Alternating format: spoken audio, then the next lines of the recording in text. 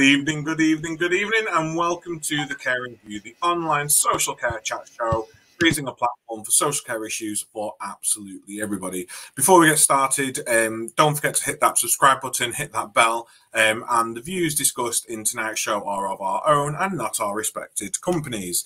Um, going to do something a little bit different tonight, um, and I think we will add them to our names once we've announced or once we've done it. Because we're talking about gender tonight, we're talking about uh, LGBTQIA plus awareness. We're going to be talking about pronouns.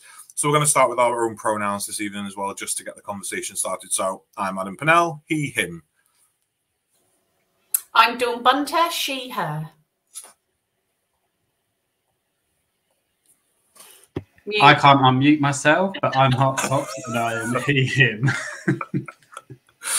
Good evening, both of you. So, like a bat out of hell, we have entered a new week and we are down one fantastic rock star. And I can't even tell you, I was driving back from Buckinghamshire last week on the Monday, and I was wailing to Meatloaf all the way home, unbeknownst to me that a few days later he would no longer be with us. Um, so, you know, quite sad. And then within the same period, we find out Boris Johnson's been at another party. Um, what do we think? Can I just say, I thought Meatloaf died years ago. I thought he was like born in like the 40s or something. So it came definitely as a shock to me, but probably not for the right reasons. But yeah. I don't think he was far off the 40s. If you are a big Meatloaf fan, then Adam, what was it that he couldn't do? Because he could do anything for love, but he wouldn't do that. What is that? Now, if you asked me after a couple of glasses of wine and at a party doing karaoke, I'd probably give you some blue crude answer because there's many things people many things people will do and they won't do it for love. Um, I always took it that he wouldn't cheat because she sings when when they're singing, she sings something a line saying sooner or later we'll be fooling around and is like, well, I won't do that. So I always took it that he'll do anything, but he won't be cheating or messing around. I don't fully know. I know it's a topic of you know, huge discussion, and it's probably going to go along the lines of um, Atlantis in you know, a couple of hundred years' time. People are going to be searching for Atlantis and the answer to Meatloaf's song. Um, but that's how I took it. I don't know. I don't know. Um, but I tell you what, he wouldn't do. He wouldn't attend Boris Johnson's birthday party. Now I can tell you that for a fact. Um, what do we reckon? Is it time for him to go? To prison. Oh, no. it's time to go months ago, weren't it? To be quite honest, that man has been to more parties in the pandemic than I've been in my whole entire life. Seriously. How, how many parties can one building have? Honestly, I, I, I was trying to work it out today how many parties I've probably been to because I never really had birthday parties as a kid because my birthday's at the end of August. So everybody used to forget in the summer holidays. So I never really had birthday parties. So when I'm working it out, he he literally has attended more parties during the pandemic than I ever have, and I'm 42 years old. So no wonder he and no wonder he was so poorly all the time, and no wonder he had COVID and was pinged left, right, and centre because he's going out all the time and getting sloshed and having birthday cakes and interior designers buying him gifts. No, I'm done. I was done last week and the week before and the week before that, but everybody knows my feelings in respect of our prime minister and i think it's time he just stepped back and let somebody else take on the reins of getting us through the last era of what i hope is the pandemic. I mean, the irony of it is they're so hell bent on having parties in in number ten that you'd think that they'd be willing to cross party work and try and find solutions to things, but they don't. They just want parties with wine and cheese because it's a working event heaven forbid we have cross party working. So I mean that was one bombshell that we've we've had recently. The other, um, which uh, we'll probably have to discuss in in length at some point, is the revelation that they may not mandate the vaccine for NHS because of fear of losing up to 70,000 staff from their workforce. And yet, doesn't seem to be a backtrack on care home mandates. And, and as far as I've read, Mark, correct me if I'm wrong, they've not mentioned about the wider social care sector having it paused either. Um, now, I know, Mark, you were in the Independent talking about this on and on carehome.co.uk. So, what are your thoughts? I think, whilst I can understand them wanting to backtrack, because obviously they are going to lose a lot of staff from the NHS, which is just going to add, you know, more pressure to the staff that are vaccinated and remain in the in their sector. I think it just puts a further disparity between health and social care. So I think when the home, where the care home rollout happened, we saw a lot of staff move from social care into the NHS. And then obviously the NHS consultation came around, and those staff obviously were like, well, actually, there's no point in me going there because I'm going to just have to be jabbed there. And I think then a lot went into home care, and then obviously it happened in home care. And I think if they end up not doing one and doing the other, those staff will just move from whichever sector it is into the other because it's just the natural place to go to continue in their career. Um, but yeah, I think if they do one, they need to do all of them. And I think if they then pause the home care one, they also then need to do a reverse decision on the care home one because then equally just get staff in the care homes that then come into home care, which then leaves the problem further down the line there. Oh, you're on mute now, Adam, as well. uh, talking about with, with the, I was uh, thing about uh, presenting and public speaking this morning. Number one, we, oh, I was saying was don't drink fizzy drinks. And I've drunk a coke, so I'm trying not to burp live on air. Uh, and the uh, and then the Dr Pepper mix oh, it with I a, love a Dr Pepper. Mix it with a Sprite, you get a sprepper. Um, but um, also not muting yourself and, and, and failing to unmute yourself. Um, but surely when we're talking about parity and working together, and you know, all three of us, as well as a lot of the social care sector, are doing a lot of work to make sure the NHS and social care can work together. And we will be discussing this in the near future. This is going to do nothing but damage the relationship between the two. Dawn, do you have anything? Because I know it was you and you brought my attention to this over the weekend. So I, I just think that all, the, all those staff that left social care, and I think I, got, I was trying to find out today, roughly on average, how many people who left the sector or who were dismissed from the sector moved on to the NHS. And I think it was something like 46% of those that left. They're, they're not going to come back to social care. They've worked for the NHS now, so they're not going to return, even if there is a change of they, even if there is a change of mind. They're getting paid better their hours are probably better. They've got a better pension. You know, at the end of the day, we've lost them now, even if there is that change. I think that, and this is why those outside of social care look on it with a ne negative connotation because now that it has been a stepping stone for many. Um, and I think it, I just find it upsetting that there needs to be, like you say, there needs to be some kind of parity in respect of if they're going to do this for the NHS, they have to they have to U-turn on social care. If not, you are going to have. I was speaking to somebody today in respect of this um, who studied law, and he said, if not, you are going to have so many where you sacked from your job because you wouldn't have a vaccine, no win, no fee, come and see me, let's take these people to court. And it's not necessarily going to be on the government that this type of thing happens. It's going to be on the providers themselves who can't afford to have that kind of action being taken. Um, so it's just a waiting game, really. Did they give a date on when they're making that decision or have an understanding of when it could be? No, although Sajid Javid has said today that all staff will need to have both vaccines in the NHS and social care. So he's saying that he's still backing the mandate, but whether that is his ultimate, if he's the decision maker or not, I don't know, or whether it comes from further afield if there's a lot of pressure. But He's just planning on becoming prime minister, so he, he's he's trying not to ruffle any feathers at the minute. He's like, "Well, Bojo's going to be out soon, so I need to make sure that that people still like me, so I can take the top spot." I mean, go, I mean, going back to old Boris Johnson, I think the problem is whoever we get to replace him needs to be somebody that's not on those front benches or on his first, like in on his inner circle, because they're all complicit in it as much as he is. They all attended those parties or one of them, so they're all lying at some point. But yeah. Well, Oh, never a dull day in the social and healthcare sector. I've started doing that as well. I've started switching the social and health around, you know, to uh, to try and swap things up a little bit. In fact, I actually forgot to say um, health and social care secretary when I would refer to Sajid the other week. I called him the, the, the, social care secretary, which didn't go down very well with uh, the people I was talking to.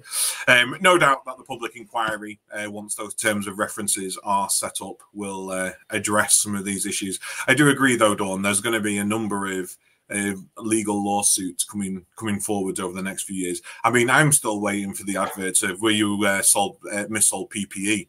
instead of PPI. I mean, it, it sells itself, doesn't it? I don't know why that that doesn't exist yet.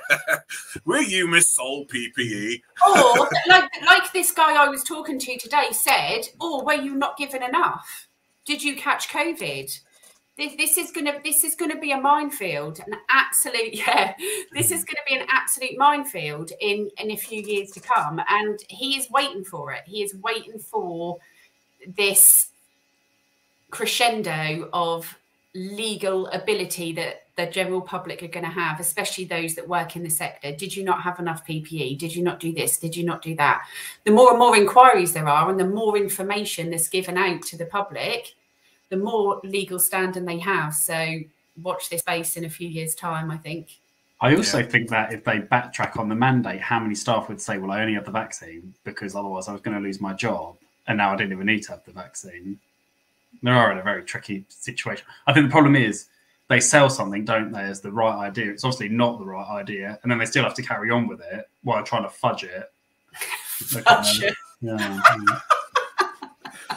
I mean, conversely, Mark, you know, I only had the vaccine to, to keep my job. I lost my job because I didn't have the vaccine, and now I don't need the vaccine to work, and I was made unemployed there's there's so many sort of sticky situations now moving forwards, and the fact that it's actually in law is just going to make things worse. I mean, is it from tomorrow? Masks in indoor places are no longer going to be mandatory. They're talking about lifting isolation in March for people with COVID.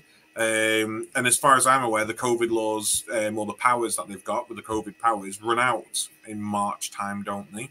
Um, so presumably, if they let those lapse and don't vote them back in, any further um, strains or outbreaks or, or pandemics of, of anything moving forwards of COVID wise, they're going to have to re vote back in. So it's going to be an interesting couple of months to see what happens. Interesting, interesting. So, should we get on with tonight's show? let's get on. Let's get on. So tonight we have a a a, a, real expert in their field, um, lecturer at uh, Arden University. We have Phil Harper with us. Now, uh, if anyone wants to ask Phil questions or talk about Phil in the comments, as we've spoken about our, our pronouns tonight, Phil does go by they them.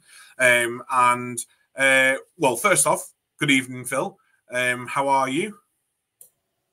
Remember to unmute myself. How many meetings I've been in today, and I've been talking away and not been unmuting myself, which probably isn't a bad thing. I'll be honest.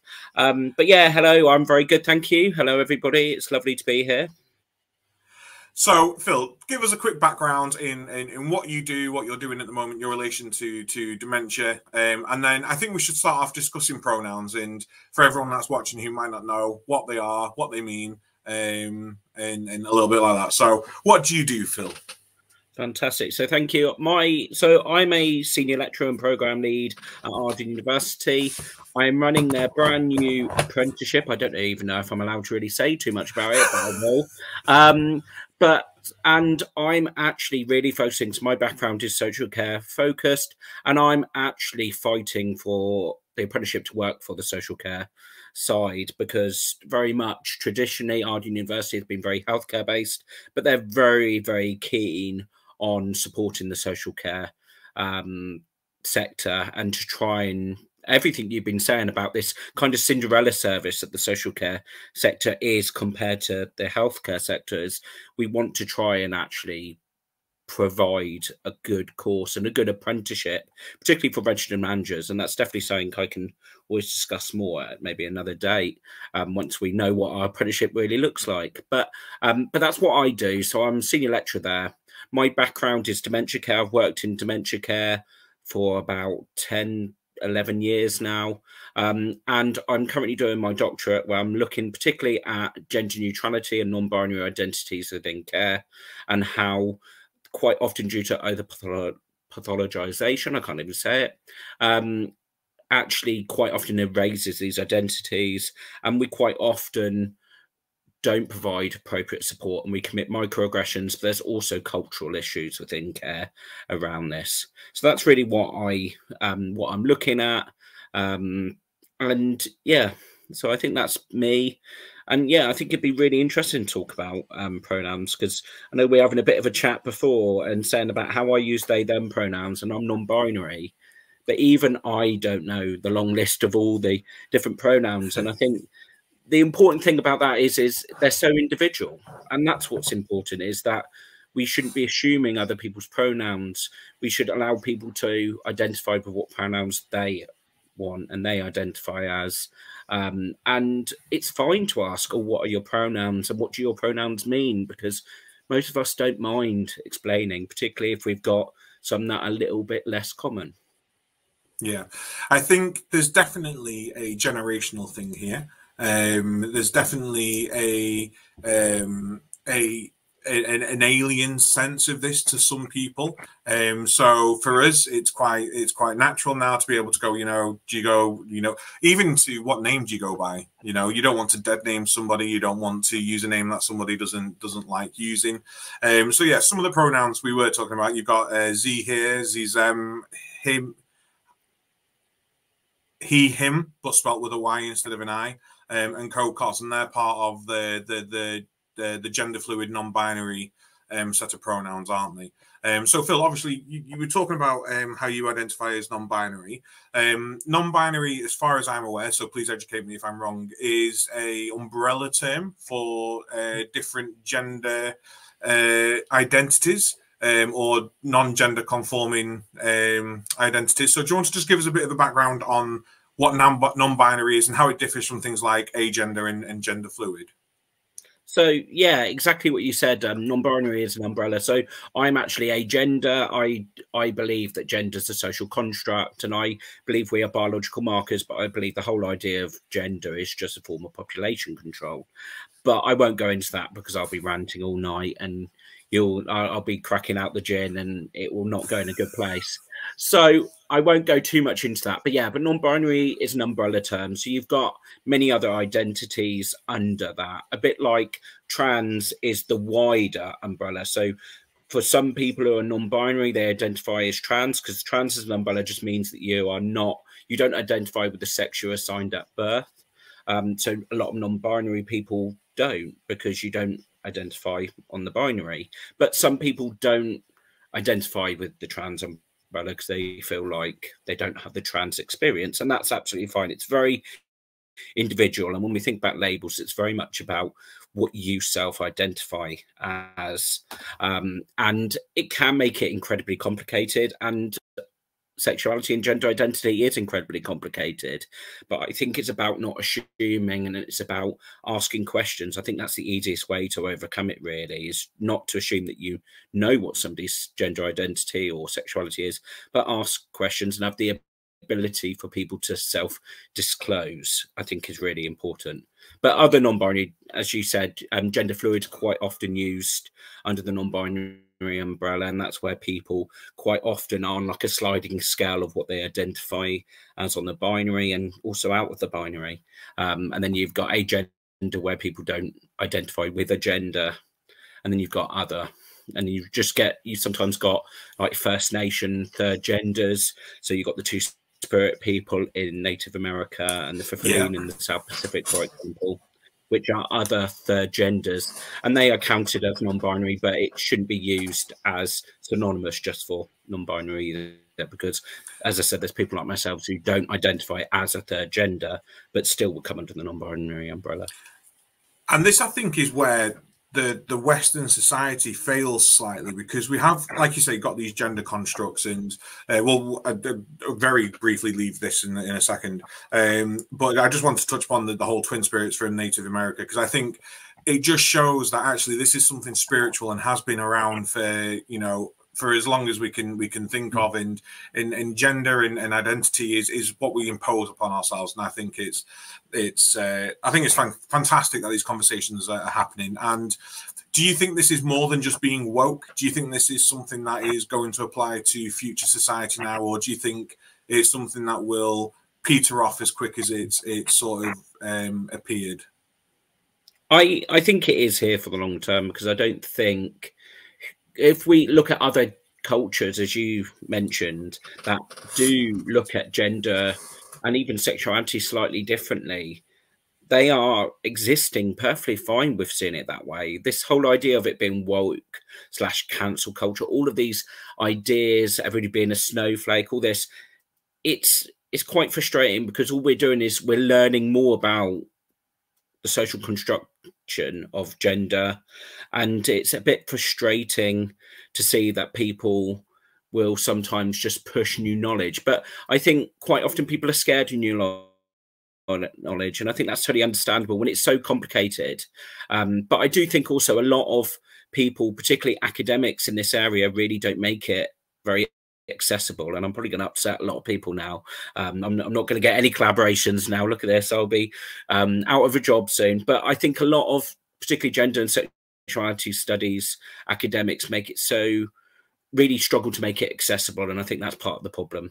And i think it's just important to try and just make it as simple as possible but obviously you can't make it fully simple but make the key take home messages simple yeah, there's a cracking episode of, um, and I'm going to geek out here now. Cracking episode of Star Trek: Next Generation.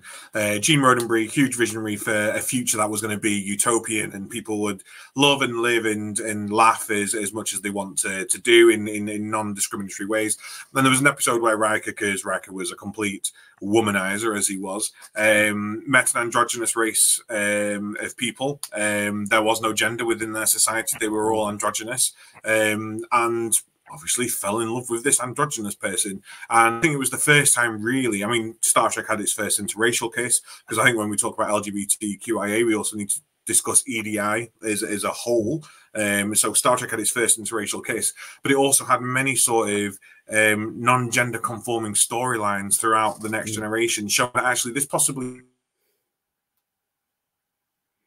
tonight. Dawn, Mark, and I found it easy to give our pronouns.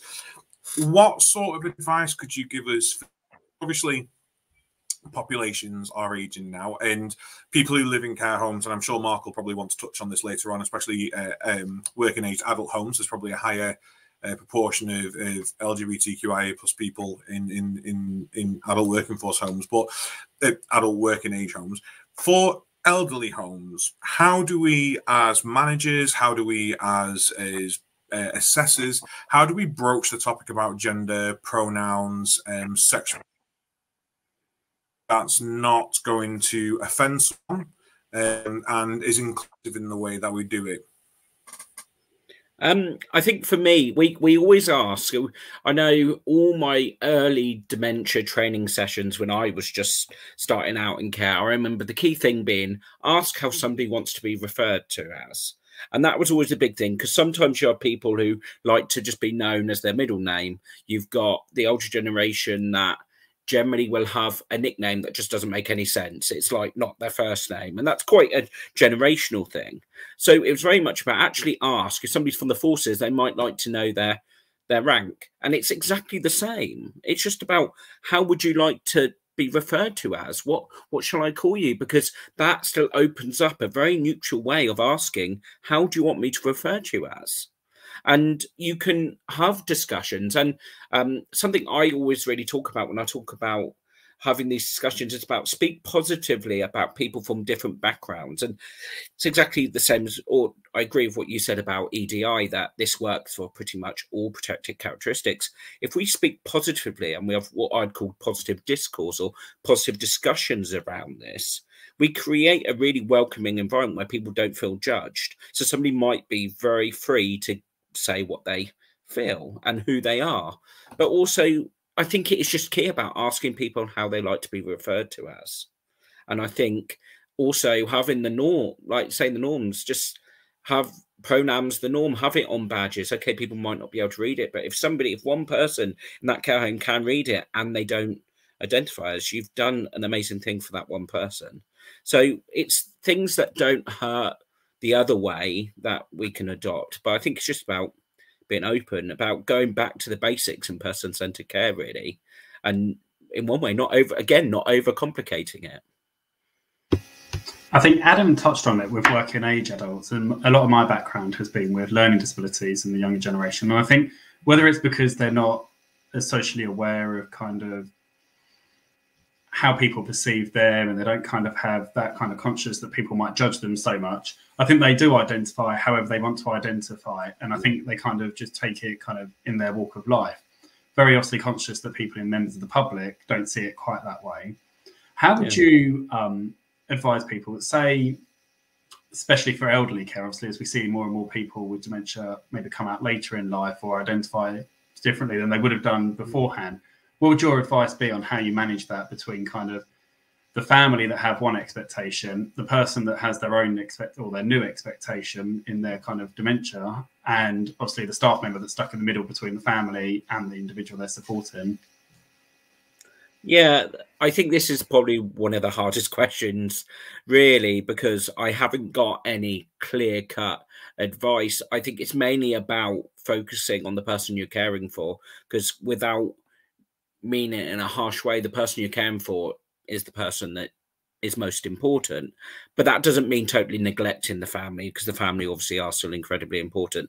So it's about maybe having discussions, talking about maybe educating the family. You can point point and signpost into resources the people like the alzheimer's society and a lot of other organizations opening doors london tonic housing. There's loads of organizations out there now that um, provide um, literature and support for older people um, who are lgbtq plus. And it could be about just signposting saying this is maybe why you didn't know about this because that sometimes from people like families I've spoken to, a lot of the upset comes from the fact that they just didn't know, and for them it just comes out of the blue. And I think if you can signpost to resources that explain why this might have happened, that takes a little bit of that animosity away. Um, but I also think here also it's really important to know that actually sometimes I and I don't know if anybody out there or any of you have experienced this if you've been if you know that you've supported somebody who's lgbtq plus. Um, that actually they're more likely to be single and they're more likely to not have close family around them. Um, and but they do have their close family. They have what we call a family of choice. And this is sometimes becomes erased. And actually about understanding that somebody might not be in close terms or maybe slightly estranged from their family um, and they might actually have a really close friendship group. And i think it's about looking at the wider view of family sometimes as well when we think about providing support. So i've kind of gone on a tangent but hopefully that is like i haven't got any really because it, it's a really difficult question and it's very situation specific but i think you do need to support both but you do need to hold really the needs of the person you're supporting and who is coming out first, which can sometimes be quite challenging if you've got a very upset family member. Yeah. I think it depends on where the person lives as well. I think if they're in a care home away from their family, it's probably slightly easier to kind of have that conversation with family on the side and then the mm. person you support. I think if you're looking after somebody in their own home that is living with a husband or wife, and then that's kind of all going on, as soon as that next of kin doesn't agree with you, then they're on the phone to another provider because they don't want you because you don't agree with them, and then it, the conversation just starts again with another provider down the road. So you don't actually get to the yeah. bottom of it. But, and I'm hoping that's where maybe the education and the signposting to resources is just to say these and you could even signpost to there there's um the lgbt foundation i believe have a helpline opening door london's have a helpline and you can maybe signpost to them and just say they'll happily listen to your worries and they might then be able to be they might have the time to be able to explain things through in a quite a supportive way which might help. Because the helplines are there also for family members too. And are there any organizations so i have seen on social media sorry adam um, that there have been times when family members don't agree with somebody obviously identifying as something else and then kicking them out of the family home because actually they see it as kind of like actually you've left me or it's kind of like a breakup and they kick the person out living with dementia or, or their condition onto the street they don't have a home is there then an organization that can support that person that is then deemed as homeless or the family obviously have just kind of disowned them um, so a lot of just generally the homelessness charities will help and support. There are are organisations that do a little bit of work around. So you've got Stonewall Housing, which do a little bit of work around LGBT aging and housing. And I don't, don't know too well what their actual provision is, but they do they do do a lot of work around that area. So I'm sure they would provide services. You've got um, organisations like the Guinness Foundation, the LGBT Foundation, Opening Doors London. These are all charities that focus on ageing and LGBT issues. So I'm sure they would be fantastic at signposting, and they would have resources and they would have people who can support with that. So, but it's like anything, the signposting to these organisations isn't there. So there's pretty much organiza- organizations for everything out there. It's the signposting that's normally the issue. And I think it's as well for the carers looking after them. It's about the carer knowing that they can signpost to these. So it's about knowing that organisation even exists in the first place. Yeah, that's it. Sorry, the only thing I was going to say, and it was it was on a previous conversation, and I think the signposting obviously is, is super important, and I'm trying to put some of the websites in the in the comments now for the, the managers and whoever might be watching tonight. Um, the one thing that I've just thought about as you were discussing relations and and um, family and people who are important, circles of support, etc.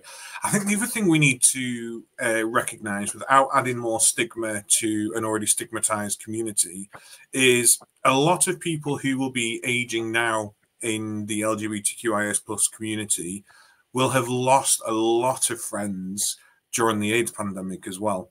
And what we might find with them um, advancing in dementia is trauma informed care yeah. in regards to such a huge amount of loss so early on in life because mm-hmm. you know touchwood the majority of us don't really face our first death until our teens whether it be a grandparent or, or mm. something and then as we get older you know unless you work in care or health mortality isn't something you really address mm. until you get to, to your older mm. older years but for for this community there was a lot of death a lot of sadness and yeah a lot of stigma that came with it.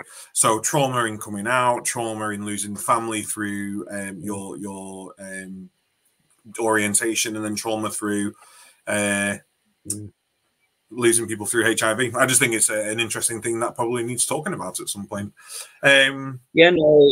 That, can I just add to that? That is incredibly important. And when we think about that trauma, you've also got so you've got people who are maybe in the older stage ages of being in social care that would have maybe still just been alive when it was illegal maybe experienced a lot of aggression a lot of abuse from the police people they should have trusted then they went through the aids pandemic then they went through section 28 a lot of older people now haven't had a break it's this it has been an absolute bombardment of abuse really and i think that's what we need to remember is that actually this trauma is significant so I think that is a really, really important point.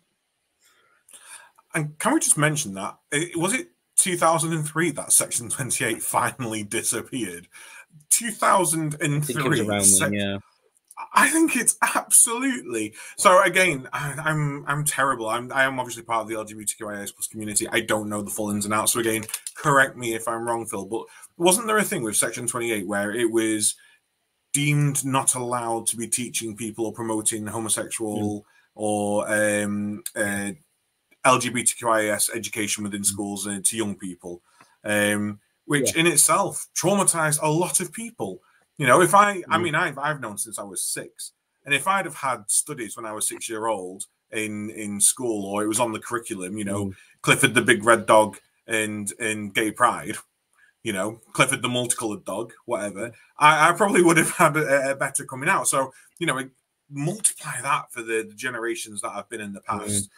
Absolutely crazy. So, obviously, tonight we, we, want to talk about microaggressions. Microaggressions um, aren't synonymous to uh, the LGBTQIS plus community. They are to do with anything when we talk about EDI. Um, but do you want to just give us a quick explanation of what microaggressions are and and maybe some examples of how it does affect, or you know, that examples of microaggressions that exist within care settings or within social care. Yeah, of course. So, so yeah, microaggressions they actually developed from um, race studies and from racism, um, and then it's been like um, everything. The scholars looking at racism have been incredibly pioneering with EDI stuff. Um, so, basically, it's subtle forms of aggressions or forms of discrimination and it quite often comes from a lack of understanding or a person's own privilege and whenever I say the word privilege, I always hear gasps, and it's like privilege is not an attack. If anything, I use it as a defense. I'm like, you've been a little bit of a nasty person, but maybe you don't mean it. Maybe you don't realize. Um, and I think it's really important to know that actually we can't have lived experience of absolutely everything. So, I, I in my life, I will commit microaggressions. Everybody does. It's just something, but hopefully, when we become aware of them, we can change and we can become better. Um, so some examples that I, so some of the key ones I always say is that when, if you're in a care home, for example, and somebody gets admitted, and let's say it's somebody who is male presenting and states that they identify as a man, you might then ask them, "Oh, so have you got a wife?" And that is literally the textbook microaggression because what I'm doing is I'm assuming, and this is also heterosexuality, which is also in the title, it's assuming heterosexuality and championing it and only really providing support for that. Um, and it's microaggression in its heteronormativity, and they kind of go hand in hand. Um, now, there was a team of researchers, now I haven't got in front of me, so I'll probably forget one of the items off it. I always do whenever I teach the Mental Capacity Act, anything, I always miss one. It's always very frustrating. But there was a team of researchers they're called Nadal and their team, and they pretty much said what an LGBTQ microaggression looks like, and they state it's imagery that is not inclusive. They state it's heteronormativity or heterosexual assumptions. Um, they state it's labels and not using labels correctly. And then they also explore the idea of um, not understanding that somebody has individualistic needs and individual experiences. So this is pretty much what a microaggression is. It's quite often just based on creating a service or provision based just on, let's say, cisgendered heterosexual people. And that's kind of where the microaggressions come from. So it's about looking broader and actually looking at different things. So another example I've got um, that I actually spoke to somebody in a care home afterwards, and it and I'll say about the quote, and it really kind of haunts me to this day a little bit. Is um, when we think about posters for Valentine's Day, they're quite often very heteronormative.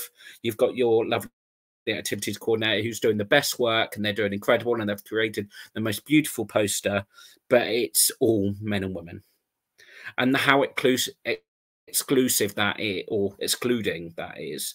Um, I spoke to somebody who really quite shortly after um, Valentine's Day lost their their husband in a um, care home, and he said.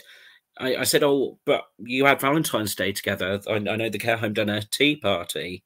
He was like, "Oh no, I didn't go. All the pictures had heterosexual couples on, and my husband didn't think I'd be welcome."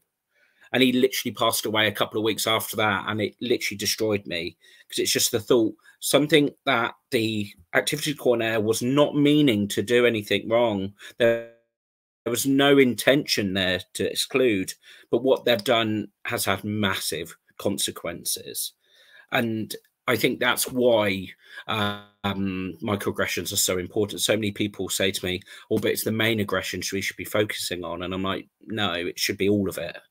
Um, and these small things do lead sometimes to big events. And I think that's why it's so important. And I, I mean, Lord knows if anyone knows me and Dawn, we love the C word. Um, no, not that one, not co-production.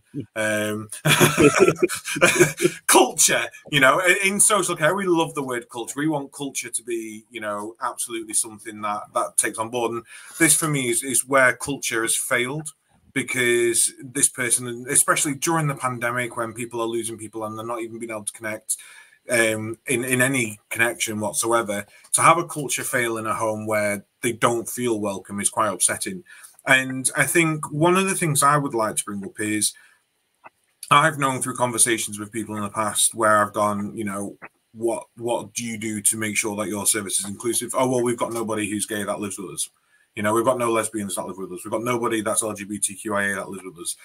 And that's absolutely fine. But it's about making sure that our services have that culture in place. So it's it's not reactive when someone moves in and is grasping at things to make sure that that culture is there. Because if we can make sure that our culture is there and we are culturally diverse and we are diverse and inclusive in all angles, then it will work to our benefit and it'll be it become a natural part of, of life. So what are some easy changes that managers or, or care settings could do, Phil, um, in regards to culture? And I, I also want to just mention memory lanes Oh. Um, if there's anything that can be done with with memory lanes and and making people feel inclusive, well, let's go on the changes for culture first. So, um, so yeah, so when we're thinking about changes for culture, it's just about showing that you're accepting and making it very clear. So, I'm actually going to use a bit of theory here, which might scare some people off. So, I do apologize. And that's not me trying to assume that people can't deal with theory. It's just normally, it's when I normally put people to sleep. Um, so, there's a theorist or sociologist called Foucault who very much talks about self-regulation and he uses a um, analogy of panopticon, which is a round prison. So if we if you think of the Colosseum and you've got a central watcher in the middle, um, and what Foucault says is that we all self-regulate because when you think about society being that central watcher, and because a central watcher in the middle of a round prison can watch anybody at one time, we even when we're not being watched, we self-regulate um, because we are scared of being watched. And when we think about care cultures, we've got, got to think that actually it's down to the staff, the people at the top, everybody to make sure that that watcher isn't being isn't persecuting with its watching basically. And it's about thinking about how do we make that watcher not heteronormative um, so in this case so it can be around having imagery. Now as much as I really appreciate the NHS having the rainbow, it's really undone a lot of our work in recent years. We fought so hard to get the rainbow into health and social care, and then COVID comes along, and then they've adopted it, and even some organisations have even taken the pride flag, and it's just a bit, a little bit frustrating. I'll be honest, but I, I'm not one of these people who's very possessive over the rainbow. It's just it had a very it was very impactful before and we kind of lost that a little bit but it it's about having discussions. Um, something I love is Care Pride. Um, I'm actually a part-time drag queen, and I have called out to a lot of care homes. A few have spoken to me about going in, and I will do like a sing-along in drag with the old songs. And not being funny, the residents will love that. Like they they might not um always appreciate that there's a drag queen in front of them, but as soon as the old song comes on, as we all know who's worked social care, the old songs come on and the singing starts. So it'll be a good laugh, but also for the people who maybe are appreciating what's going on, that could be incredibly affirming. Um, and so we've got things like Care Pride that are really amazing because then they show this conversation. Now, um, somebody said to me about what about in home care because quite often home care gets ignored with these discussions. But what happens when your local pride is on? Why don't you put the TV on and say how fantastic that is? You might not get the response you actually want, but if you do that to everybody and one person maybe is LGBTQ plus and they don't feel comfortable, they might actually really appreciate you doing that, even though you might have to hear people who do struggle with the concept. So it's that type of thing that actually you can still do these similar type of things, create these conversations, create this welcoming environment. And I think once you start doing this, and once you also start embedding everything, so this isn't just about just doing it all the positive work about being inclusive, not assuming gender, respecting pronouns, um, not um, just um, having heterosexual couples on um, the posters for pride this is about doing it all the time and i think that's then when the culture starts to come is that actually when this becomes a normal practice and you start normalizing this practice it becomes an inclusive practice. So i think with culture it's very much that but it needs to be a top down so the people at the top need to really support this and um, I, I know of some fantastic care assistants who work in a care home and they said our manager just doesn't really see the importance of it. And that's going to be really quite disempowering. So I think this needs to be at all levels and it just needs to be supported and not be a tick box. So audits are really useful for checking if things are going on, but it should also be about getting a feel for what's happening. Actually, are you having fun with it too? So I said the care prides are quite often a fun way to that everybody can be involved in. It's funny you should say that because uh, I will always remember um, we're talking about it top down and it being culture embedded within. I remember when um, uh, same sex marriage was being legalized in the country and they were all voting on it. And I said to one of my colleagues who was above me at the time, I said, oh, I can't believe this is this is like absolutely life affirming. This is this is groundbreaking. This is this is life changing. It's going to be fantastic. And all I got back was, oh, Adam, do you not think there's more important things going on in the world at the moment than gay marriage? Mm. And you're doing you automatically you get taken back, don't you? You get knocked back from that that pride and that and that joy. Do you think there's something in homes becoming ally homes? Um, so I know there was a lot of confusion when the A got added to LGBTQIA uh, plus. A stands for for asexual, it doesn't stand for ally. Um, but allies are people who stand by um, hmm. by races, by by minorities, and, and are supporters. So, is there something that exists for care homes to become ally homes, um, similar to Purple Tuesday, where organisations become disability hmm. organisations? Yeah, one hundred percent. So they're called. It's called Pride in Practice. Now, I believe I'm trying to remember the two names. So, Opening Doors London have won. Um, and I believe that is also pride. I believe that's pride in practice. And basically, they will help train staff. They will help you to develop ideas and um, do some fantastic work with the games to make sure on care settings, not just. And they do also work with home care as well to see about working with the staff and how these things can go about. And they give you accreditation. Then you get this stamp that you can put on everything to say that you are LGBT friendly. Um, and then, okay, yeah, and then I've seen you put the LGBT Foundation. I maybe um, the Opening Doors London one is slightly different name. I know there's two. The LGBT Foundation also do one. The LGBT Foundation one, I believe, is more healthcare focused, from what I have seen, but they do do social care too. Whereas Opening Doors London is a little bit more social care focused. But then also Stonewall Housing do do a little bit as well, and they do do a bit of accreditation. Then you've also got Stonewall, the main charity, that do do some care accreditation, and they will come in and do training as well. Um, so there are some. Um, so yeah, the Pride in Practice, so the LGBT. Thank you, Martha. Um, the Pride in Practice, the LGBT um, Foundation one is more NHS, and let me just I've just popped the um, opening doors Pride in Care quality standard. That's it, Pride in Care. Well. Thank you. Um, so that's the opening doors London one, and that is a little bit more social care focused. Um, the Pride in Care standard. Um, and I have spoken to them about that, and it looks like a really fantastic award to do. Um, but there isn't something that's standardized, and it'd be quite nice if we can maybe have one stamp um, really or maybe those two organizations so that they might be i'm i'm not i don't work for them but they might be working with each other to actually benchmark it against each other. But it'd be nice to see that than having this division. Exactly what we were talking about before the health and social care division really. It should really be the same type of thing that's working with each other yeah, no, completely agree. Um, do we need to say something tonight for people who may be afraid of getting it wrong? Um, I know uh, people are afraid to misgender people and, and to make mistakes. Um, and I know there's a lot of genuine um, misgendering that does go on, but people are afraid to then be attacked because of it. So I think there needs to be just, you know, like the NHS needs to work with care.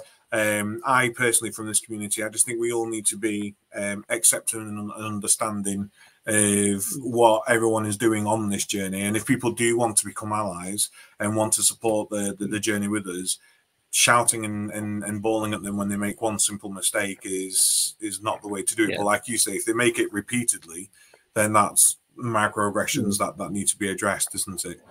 Um, sorry. I think without being blunt, I do think the phrase "it's not about you, it's about the person that you've upset" really comes to mind. I think quite often the people say, "Oh, I'm really afraid of upsetting somebody." You're putting too much emphasis on your own feelings in this situation. I'll be really honest. I know that sounds really hard to hear sometimes, but I think sometimes you need to just hold your hands up, say, "Look, I'm really sorry I've upset you.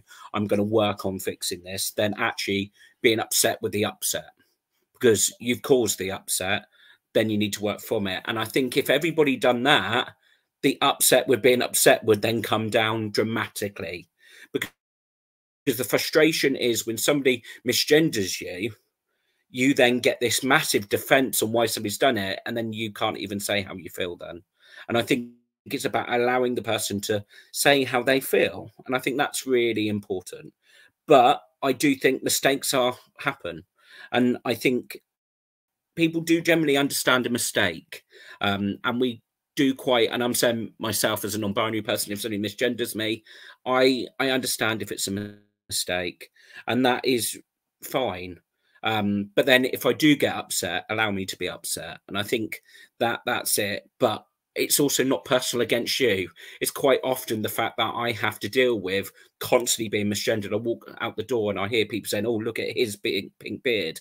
I'm constantly being misgendered. So at times I might get upset, and you and in one way it's not you maybe you could just be the straw that breaks the camel's back and i think sometimes it's about understanding that and how microaggressions build and how misgendering and using the wrong labels do build yeah. And it's something that yeah you know and this isn't just within within care or within within um, society. It's something me and my partner try and consciously do at home. And you know a lot of people go but oh, they them it's so hard to get used to. It's just so hard to get used to. And it's like yeah. but for as long as the english language has been a thing and we've had they them in the language you've always gone they've been to the shops. They've yeah. bought that. That's their drink. So it's about for me if it's for people that I don't know, consciously trying to use mm. they them until I discover what their their pronouns are, um, yeah. and we also try and do it. And this sounds very privileged, and I apologize if this comes across offensive. I don't mean it to be we try and stop ourselves from identifying people by their characteristics in television shows and movies. So we won't go, oh, it's the old one. Oh, it's the it's the black person, it's the Asian person, it's the gay person. We will consciously try and think of other things about that person that make up their character than a gender or a race or an age mm. to become their defining characteristic. Because you don't do it with Tom Cruise. You go, oh, it's Tom Cruise. You know, you don't go, oh, it's it's the the one that has to stand on a soapbox because he's, he's shorter than all his co-stars and he doesn't want women being taller than in a movie. Um, and, and it's about just making those conscious shifts, isn't it? I feel anyway. In my head, I do think that's always quite an interesting point because these defining characteristics, quite often we we work to try and not see them, but then at the same time we erase them. And I think while what that that's brilliant, and like I always have this. I always get into debate in the pub. You will always hear me in a corner debating with somebody about something, and it's normally language based because I'm. I, I love talking about language because you can squirm yourself out of anything when you talk about language. But basically, when people say, "Oh, I don't see color," or "I don't see sexuality," or "I don't see," you as anybody different. I'm like, I want you to see me as somebody different because if you can't see that, you can't do person centered care. So these defining characteristics, they definitely exist and they are there to certain to be certain degree to be seen, but they are not there to define somebody. And I think that's where that self-identification comes in. Once somebody self-identifies as a defining characteristic, then it becomes an important person to somebody. So I agree with you 100% what you said. I I just want to put that disclaimer that quite often this idea of I don't see that can lead to being a microaggression in itself. Was it the same, Moana? You know who you are, but this does not define you. Uh, uh anything to bring it to a Disney movie? uh, it's usually in Encanto at the moment. So, uh, running to the end of the show, I think top three tips for care providers um, in adapting to uh, making sure that they're inclusive to LGBTQIA plus people. Maybe one around care plans, one around uh, culture within the home, and maybe one around uh, memory lane walls. Okay. Um, so yeah, so if we think about care plans, it's about it's really important to be able to ask the questions. Um, we quite often, particularly in Britain, we're very coy about asking about sexuality and gender identity. Um, more so here, but then I think also it is partly a generational thing. It is partly what people deem to be appropriate. But I think ask the questions, um, don't assume. And when we think about that, be able to document it everywhere, what people like to be known as, what people, who people are. So I think that's that care plan. Within culture, it's about having an open policy about being able to discuss anything, be being open, embracing everything, and it should be top down heavy. Um, and it's about think about that central watching. What I was talking about is how can we break down? Can we look at anything? And are we just promoting heterosexuality or cisgendered people with what we are doing if we are. And this is same with all edi you can always go to the dominant point. Are we only promoting the dominant aspect or characteristic etc and if we are how can we make this embraced and norm? And then my last point about memory lanes is please don't have a memory lane. Well not in your main corridor that goes up to your dining room or, or etc. Because what you're doing is you're forcing people to relive trauma. Um, this isn't just for the LGBTQ community. This can be people from the war, and when they go up um, along the memory lane where you got war uniforms, their PTSD might come back, etc. Um, so reminiscence is incredibly important, but think about it should be an opt-in. It shouldn't be a forced activity. Whereas if you have it along your main corridors, it's a forced activity. So think about what could this do? Could this bring back trauma? Doesn't mean you don't do reminiscence, but maybe you need more time. Maybe you need to go to a um, sensitive area or a very private area and have the time to then support the person afterwards if painful memories do come up. So that is my bit of a rant, a very quick rant on memory lanes because they do frustrate me when they're always the main corridor and you're just forcing people to do trauma or go through trauma, really. Well, I mean, I know this has been a huge, huge whistle stop tour for a lot of people in uh, in welcoming um, LGBTQIA plus into uh, into into the world of care. Um, just a quickie, the plus, if anyone is wondering on LGBTQIA, I know it's a mouthful. Um, it's there to uh, recognize that actually there's there's a lot more genders and sexual orientations in, in positions that people identify as. Um, it's just the acronym would become incredibly long, and we don't want people to feel left out. Um, hence the plus. Um, but Phil, thank you so much for tonight. It's been an absolute pleasure. I, I mean, I've learned loads, and I thought, I, you know, I was sat here going, "Oh, I'm part of this community. I know everything." And I've just sat here tonight soaking it all up, uh, stuff I never even thought about. Um, Mark, Dawn, anything before we close? I think you know I've I've kind of become a little bit known for being a bit trappy, but I've been right quiet this evening. You've shut me up, Phil. I've accept, I've, I've, I've taken all this in in my little brain, and now I'm you know I tend to then start stalking people on Twitter asking questions. So be prepared for that later because I've I've literally absorbed everything you've said for the last hour. So thank you so much. It's been really really interesting. Thank you. You're welcome. Thank you.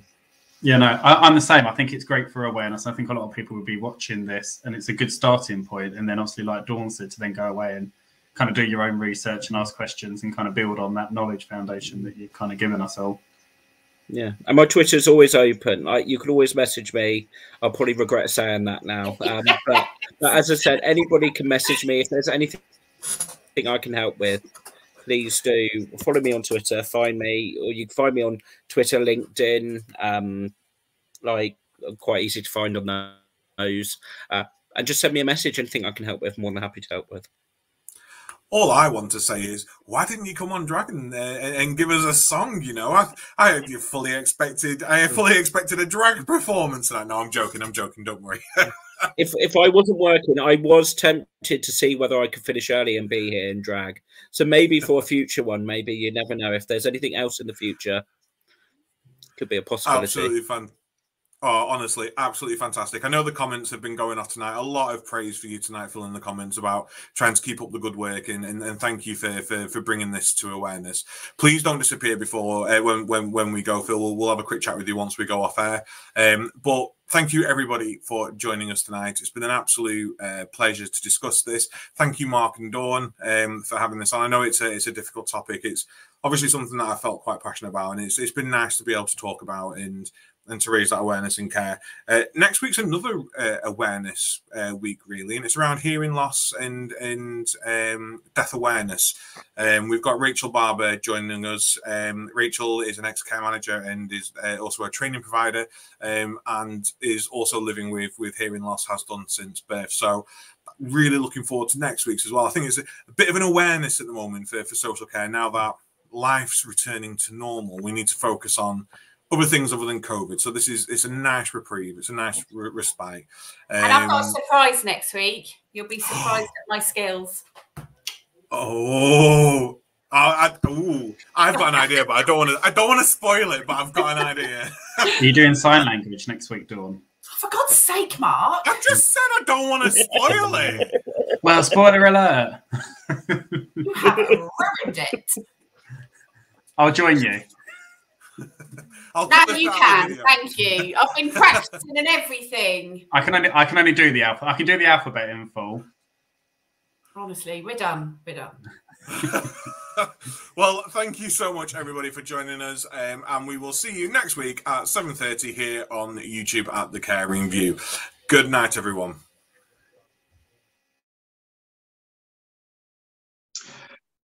Thank you again for joining us tonight on The Caring View.